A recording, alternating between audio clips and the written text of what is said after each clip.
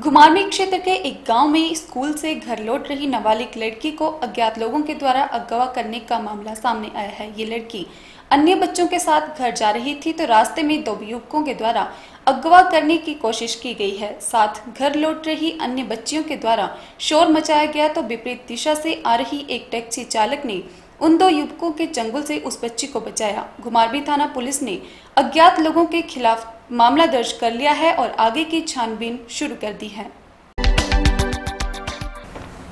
घुमारवी क्षेत्र के एक गाँव में स्कूल से घर लौट रही नाबालिग लड़की को अज्ञात लोगों के द्वारा अगवा करने का मामला सामने आया है। ये लड़की अन्य बच्चों के साथ घर जा रही थी तो रास्ते में दो युवकों के द्वारा अगवा करने की कोशिश की गई है। घटना उसमें की है जब बच्चे स्कूल से छुट्टी होकर अपने घर जा रहे थे।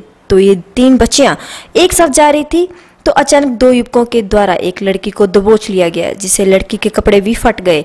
साथ घर लौट रही अन्य बच्चियों के द्वारा शोर मचाया गया तो विपरीत दिशा से आ रही एक, एक टैक्सी चालक ने उन दो युवकों के चंगुल से उस बच्ची को बचाया गया। घर पहुँचते बच्ची ने सब जानकारी अपने परिजनों को दी जिसे लड़की की माता ने घुमारमी थाना में रिपोर्ट दर्ज करवाई है। घुमारमी थाना पुलिस ने अज्ञात लोगों के खिलाफ मामला दर्ज कर लिया है तथा छानबीन जारी है।